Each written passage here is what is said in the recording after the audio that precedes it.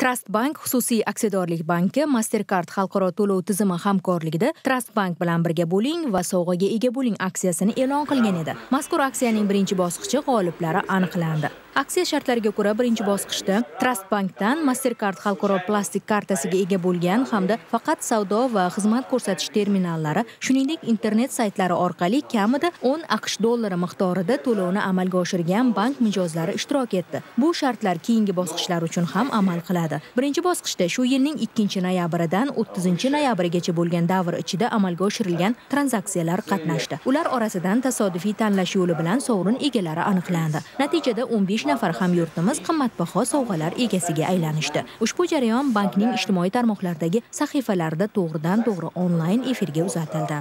Besh bosqichda qo'yilgan sovg'alar har bir bosqichda o'n beshtadan qo'yilgan. Oxirgi super prizimiz o'zbekistonda ishlab chiqarilgan kobalt avtomobili. Beshinchi bosqichda ishtirok etish uchun ya'ni o'sha besh oy davomida o'n dollardan aqsh dollaridan kam bo'lmagan miqdorda onlayn xaridlar qilishi yoki э, kartadan karta pul o'tkazmalar qabul qilish. Shu ikki shartimizdan birini qilgan mijozimiz tanlov ishtirokchisi hisoblanadi.